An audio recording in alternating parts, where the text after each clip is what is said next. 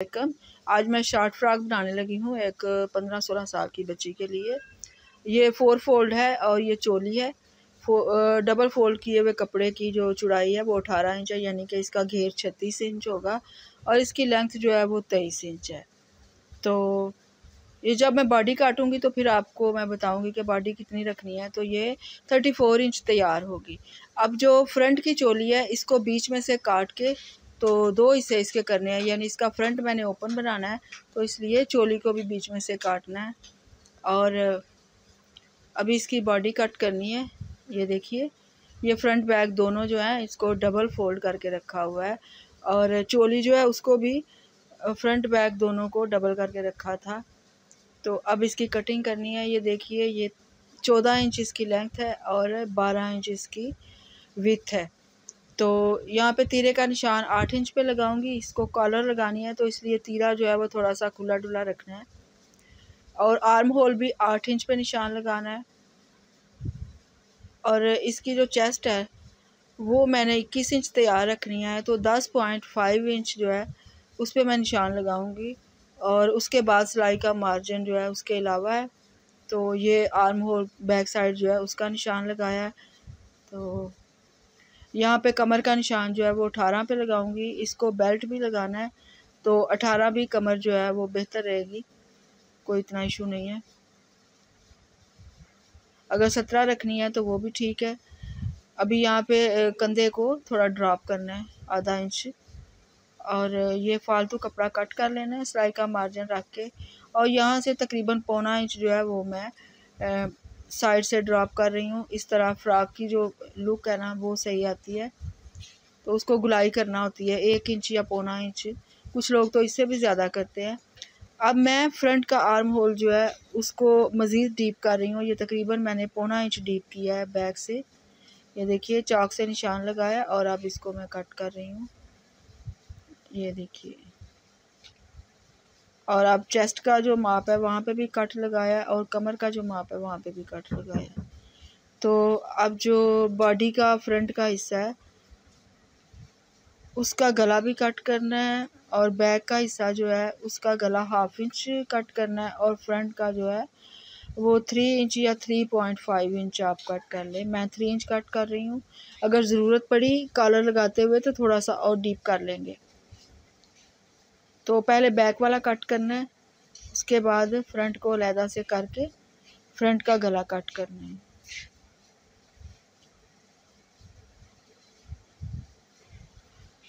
यहाँ पे फ्रंट को भी बीच में से काट के तो दो हिस्से करने हैं। याद रहे, ये फ्रॉक जो है, ये ओपन बन रही है।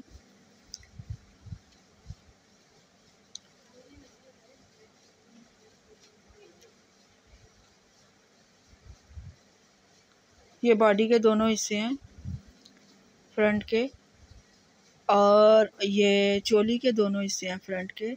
चोली का बैक साइड जो है वो भी जुड़ा हुआ है और बॉडी का जो बैक साइड है वो भी जुड़ा हुआ है। वहाँ पे कुछ नहीं कट किया। और यहाँ इसको देखें इस तरह चुनटें डालनी है। आ, सेंटर जो है वहाँ से एक इंच छोड़ के चुनटें डालनी शुरू करनी है। ये देखिए यहाँ पे एक इंच जगह छोड़ के फिर चुनटें डालनी शुरू करें।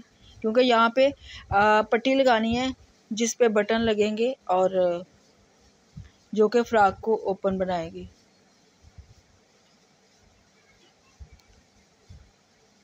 ये पहले इसको इस तरह चुनटे डाल लेंगे और फिर बाकी की तैयारी करेंगे। आ, ये देखिए ये बैक साइड है तो इसको भी इस तरह चुनटे डालनी है। चोली की जो चौड़ाई है वो अड़तीस इंच है यानी जब हम सिलाई कर लेंगे तो इसका घेर जो है थर्टी सेवन इंच बन जाएगा। और लेंथ जो इसकी है, वो तो जितनी मुझे फ़्रॉक चाहिए, उस हिसाब से मैंने रखी है। बॉडी की जो तैयार बॉडी है, वो तेरह इंच होगी।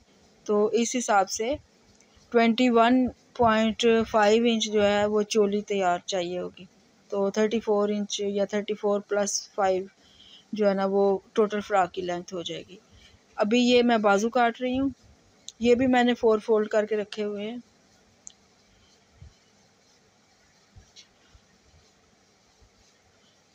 यहाँ पे मैं तीन इंच पे निशान लगा के तो बाजू की जो है, वो ड्रा इसको करूँगी। चौक का निशान जो है, वो कैमरे में नज़र नहीं आ रहा। तो आप कट किया हुआ देख लें। तैयार बाजू जो है, वो मैं बीस इंच बनाऊँगी और यहाँ पे मैं इक्कीस पॉइंट फाइव इंच रख रही हूँ। और इसका जो मोरी ओपन है, वो सिक्स इंच होगी तो यहाँ पे सेवन इंच रखी है, एक इंच सिलाई का मार्जिन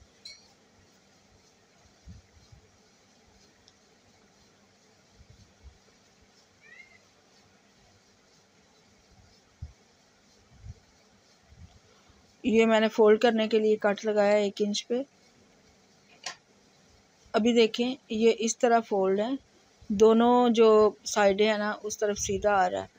तो ये फ्रंट से जहाँ से बाजू को डीप करते हैं, ये वहाँ पे मैं निशान लगा रही हूँ। ये दोनों बाजू एक दूसरे के ऊपर हैं। दोनों की जो उल्टी साइड है, वो एक दूसरे को फेस कर रही है और ये देखें, ये मैंने दोनों बाजुओं का फ्रंट जो है, वो कट कर लिया है। अब ये देखिए, यहाँ पे इसको पट्टी लगानी है।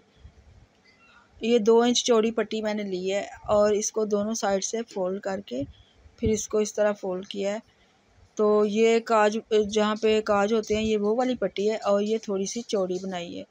अब फ्राक का जो आ, मार्जिन सिलाई में देना है वो आधा इंच आपने देना है ताकि दोनों साइडों की पट्टियाँ जो हैं वो ऊपर नीचे आके तो फ्राक का जो मेज़रमेंट है वो पूरा हो जाए। आधा इंच आप दूसरी तरफ़ से सिलाई के अंदर देंगे पट्टी लगाते हुए और आधा इंच इस तरफ़ से सिलाई के अंदर देंगे तो फिर आपकी जो मेज़रमेंट है ना वो आउट नहीं होगी। यानी जितना मैंने रखा है ना इक्कीस इक्कीस इंच चेस्ट और अठारह इंच कमर तो वो आ, बिल्कुल राइट रहेगी। अगर हम आधा इंच सिलाई का मार्जिन रख के तो पट्टी लगाएँगे।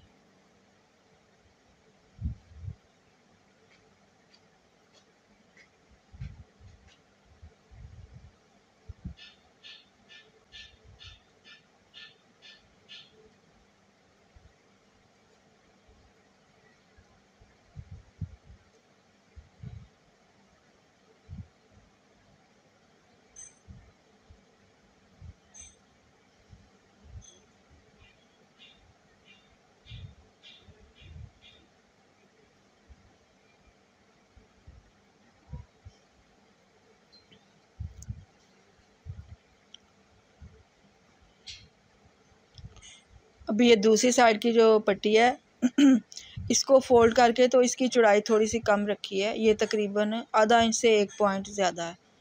तो यहाँ पे बटन लगेंगे तो इसलिए ये इसकी चौड़ाई कम है। हमेशा जो बटन टेक होती है, उसकी चौड़ाई कम होती है और जो काज वाला हिस्सा होता है, जो काज वाली पट्टी होती है, उसकी चौड़ाई ज़्यादा होती है। तो मेरी काज वाली पट्टी की चौड़ाई एक इंच है और बटन टेक जो है उसकी चौड़ाई आधा इंच से एक पॉइंट ज़्यादा है। तो इसके अंदर भी मैं सिलाई का मार्जिन जो है वो आधा इंच दे रही हूँ।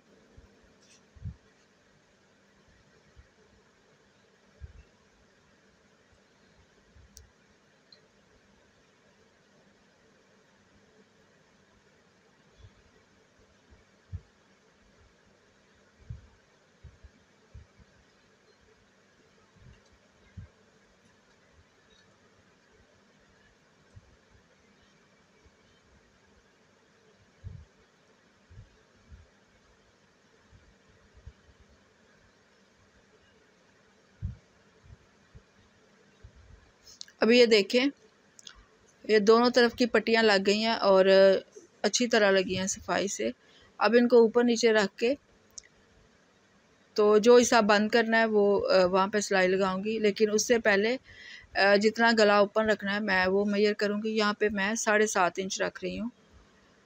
यानी कि इतना गला जो है ये ओपन रहेगा और उसके बाद इसको बंद करना शुरू करूँगी। और नीचे से जो कट रखना है ओपन का वो मैं नौ इंच रख रही हूँ।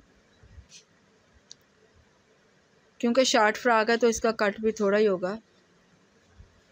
ये नौ इंच इसलिए रखा है कि अभी नीचे से दामन भी फोल्ड होना है तो ये तकरीबन आठ इंच रह जाएगा। अब यहाँ इस पर सिलाई लगा के तो इसको बंद करना है। ये देखिए। ये जहाँ पे निशान लगाया, वहाँ पे टांके को पक्का करके तो वहाँ से सिलाई शुरू करनी है।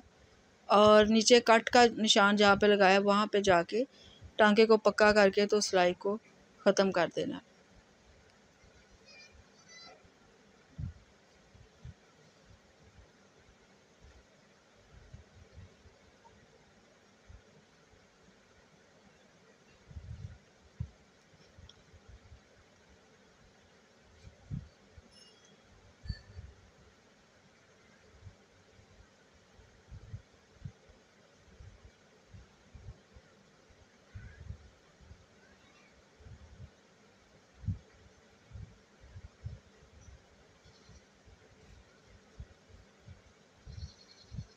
अभी फ्रंट बैक के कंधे जोड़ने हैं और उसके बाद फिटिंग की सिलाई लगानी है। इसके जो बाजू हैं वो मैं टैब वाले बना रही हूँ। तो टैब वाले बाजू की जो वीडियो है वो मेरे चैनल पे अपलोड है। जब फ्रॉक की फ़ाइनल लुक दिखाऊँगी तो फिर आपको नज़र आ जाएगा कि टैब वाले बाजू किस तरह का ये देखिए, ये रेडी है फ्रॉक। अब बस इसकी कॉलर लगाने वाली रह गई है और बाकी रेडी है। इसमें मैंने बेल्ट भी लगाया है और इसकी सारी सिलाई जो है वो कंप्लीट है आलमोस्ट सिवाय कॉलर के।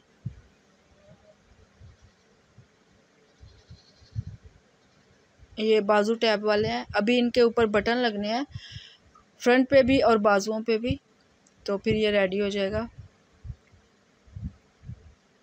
इसके साथ ही मुझे इजाज़त दीजिएगा। कॉलर